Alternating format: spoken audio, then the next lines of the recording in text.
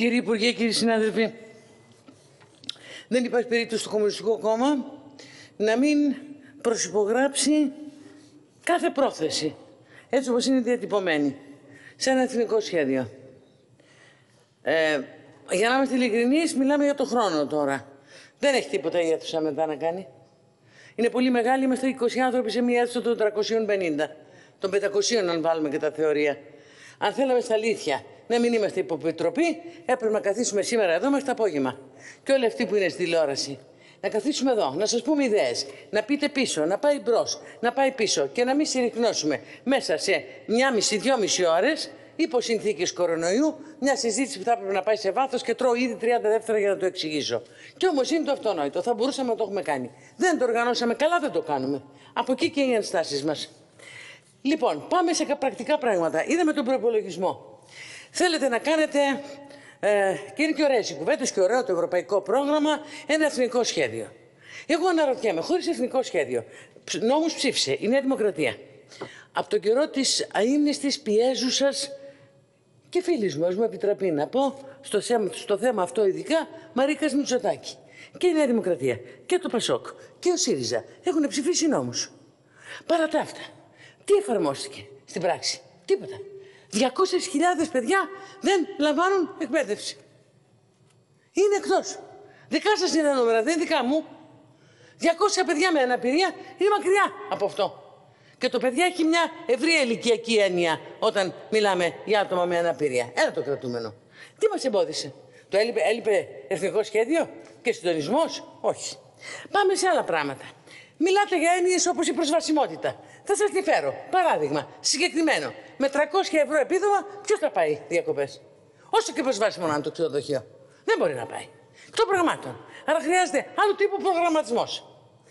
Λέτε προσβασιμότητα. Προσβασιμότητα. Ποιος θα αναλάβει το κόστος της εγκατάστασης όλων εκείνων των πραγμάτων ή των μετατροπών κατοικιών που πρέπει να γίνουν για να γίνουν προσβάσιμα τα κτίρια ενδεχομένως πολλές φορές σπίτια φτωχικά, σπίτια μικρά, σπίτια παλιά για να μπορούν να εξυπηρετηθούν οι ανάπηροι.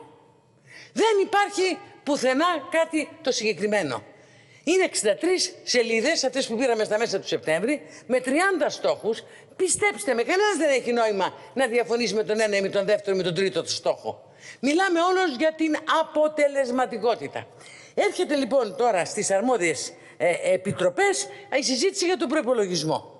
Και ενώ μιλάμε για θεωρητικές ε, διακηρύξεις πάρα πολύ ωραίες, δεν κοστίζουν σε κανέναν. Ε, μπορώ να σας το αποδείξω γιατί. Στην εισηγητική έκθεση μιλάτε σε μειούμενα για την παιδεία κονδύλια. Μειούμενα σε αυτόν τον φετινό προπολογισμό. Είναι μειούμενα τα κονδύλια. Και εδώ μιλάμε και για τα ειδικά σχολεία τώρα, έτσι. Λοιπόν, σε μειούμενα κονδύλια έρχεστε και μιλάτε στην εισηγητική έκθεση για διορισμούς μονίμων, ε, ε, οριστικές, μόνιμους διορισμούς.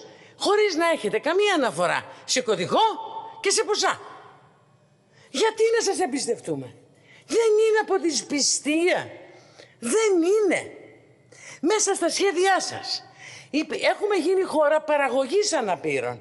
Σας φαίνεται παράξενο, είναι πολύ βαρύ αυτό που λέω. Και μπορεί και να μην το καταλαβαίνει κανένας από αυτούς που με ακούνε. Και όμως είναι αλήθεια. Είναι αλήθεια. Όσο και αν θελήσει κάποιος να... Γιατί τώρα τελευταία υπάρχει και μια περίεργη σοβιετολογία. Η αντισοβιετολογία.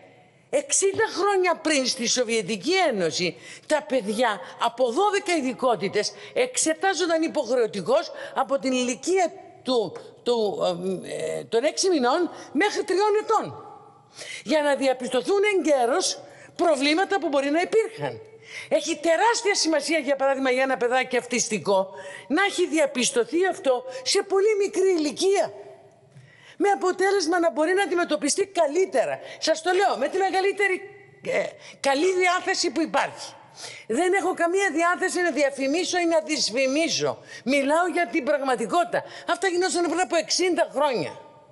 Πώς θα μπορέσω να σας αναπτύξω και να σας κουβεντιάσω; Την πρόταση του ΚΚΕ, το οποίο έρχεται και σας λέει τα βοηθήματα. Δεν μπορείτε να μου πείτε και η προσβασιμότητα και η εκπαίδευση και η αντιμετώπιση ότι δεν έχουν ένα βαρύτατο ταξικό πρόσημο, το οποίο δυστυχώς ήρθε και η πανδημία και το αποκάλυψε ακόμα και στους πιο δύσπιστους. Δεν γίνεται να με πείσει κάποιος ότι το παιδί του Κέννεντι με κομμένο πόδι είναι ίδιο με το παιδί του Γιώργου, του γειτονά μου με το κομμένο πόδι, στην προσβασιμότητα. Δεν μπορείτε να με πείσετε, γιατί δεν με πείθει η πραγματικότητα. Θέλετε να το κάνετε, να το κάνετε. Πώς μπορείτε να το κάνετε όταν κοστίζει και στην πραγματικότητα γίνονται πελατεία οι ανάπηροι η αγορά συγκεκριμένων υπηρεσιών; Θα σας φέρω δύο παραδείγματα που αφορούν τον πολυτελή ε, ε, ε, δυτικό κόσμο και την Ευρωπαϊκή Ένωση που ενδιαφέρεται. Το τρία, το τρία, στη Γαλλία χάθηκαν περίπου 30.000 άνθρωποι σε ιδρύματα ανθρώπων που είχαν ψυχικές αρρώστιες. Δεν έμαθε ποτέ κανένας τι απέγιναν αυτοί, λόγω καύσωνα. Στην Αμερική είδαμε τώρα, τώρα, τώρα με την πανδημία, στην Αμερική τον παράδεισο των ευκαιριών των χιλιών, το στρατό να μαζεύει ανθρώπους από ιδρύματα ανθρώπων που δεν μπορούσαν ούτε να κουνηθούν, ούτε να αναπνεύσουν, ούτε να μιλήσουν, ούτε να δουν ενδεχομένως και να τους παίρνουν με τα σακιά και με τις σακούλες των σκουπιδιών για να τους πετάξουν επειδή πεθάνανε. Αυτά είναι πραγματικότητες. Πρέπει από το ευκταίο, από το προσδοκόμενο, από το σχεδιαζόμενο να υπάρχουν πρώτα απ' όλα χρήματα. Δεν είναι στη φύση του κεφαλαίου να ξοδεύει λεφτά από τα οποία δεν έχει να βγάλει κέρδος. Στο, ειδικά στο θέμα της παιδείας, για παράδειγμα, προβλέπετε συρρυκνωτικά, που σας λέω ειλικρινά, υπογράφουμε όλα όσα γράφονται για τη μαθησμισιακή προσβατιμότητα, την υποστηρικτική τεχνολογία, το εκπαιδευτικό υλικό, τα καινούργια μέσα. Ε, είναι διεκδικήσεις χρόνια των συλλόγων, των φορέων, των γονέων, των ταλαιπωρημένων. Και έρχεστε ξαφνικά και μου πετάτε μέσα στο σκέ 14 σχολεία, ειδικά. Μένουν έξω από αυτά τα 14 σχολεία. Πρώτα απ' όλα ο αριθμός γιατί μπαίνει; Θα διορθώσετε και μερικά άλλα. Υπάρχουν ολόκληρες περιφέρειες της χώρας που δεν έχουν ένα, ένα ένα σχολείο. Μιλάτε για παράδειγμα πάρα πολύ ωραία για την ενσωμάτωση των παιδιών. Δεν μπορούν να ενσωματωθούν όλα τα παιδιά. Υπάρχουν παιδιά τα οποία είναι ανίκανα όπως και ανάπηροι άνθρωποι. Ανίκανοι παντελώς να εξυπηρετηθούν. Επομένως δεν μπορεί να γίνει άλλο δι η ενσωμάτωση στην γενική παιδεία ή η ενσωμάτωση, η αποϊδρυματοποίηση, δεύτερη λέξη, η αποϊδρυματοποίηση. Υπάρχουν άνθρωποι ψυχικά ασθενείς, για παράδειγμα βίαιοι, που δεν μπορούν να ζήσουν σε εσωτερικό κοινωνικό, φτωχό πολλές φορές, μικρού χώρου, οικογενειακό περιβάλλον. Για αυτούς θα πρέπει να υπάρξουν. Πρέπει να υπάρξουν εγκαταστάσεις, πρέπει να υπάρξει εξειδικευμένο προσωπικό. Τα βοηθήματα που πολλές φορές ε, κοστίζουν πάσης φύσεως και μορφής με μια τεχνολογία που εξελίσσεται αστραπιαία. Ερχόμαστε εμείς και σας λέμε κάντε ένα κρατικό τεχνολογικό Ινστιτούτο, ένα το οποίο να μελετάει τα προβλήματα, να μελετάει τις ανάγκες, να κάνει έρευνα, να προωθεί την παραγωγή αυτών των υλικών στην Ελλάδα ή να αποφασίζει, τελειώνω κυρία Πρόεδρε, τι θα εισαχθεί και τι δεν θα εισαχθεί έναν ένα να τους πιάσουμε τους πυλώνες. Αν ανοίγαμε μια βαθιά συζήτηση, δεν υπάρχει μισός άνθρωπος εδώ μέσα που δεν θα ήθελε να συνεισφέρει σε κάτι τέτοιο. Δεν είναι για να περνάει κάποιος σε ευχολόγια και να λέει ε, ε, μεγάλες κουβέντες και να τρώμε τρία λεπτά ο καθένας και τέσσερα λεπτά από το να λέμε τι ωραίο που ήταν το σχέδιο επειδή φέρει τον τίτλο εθνικό.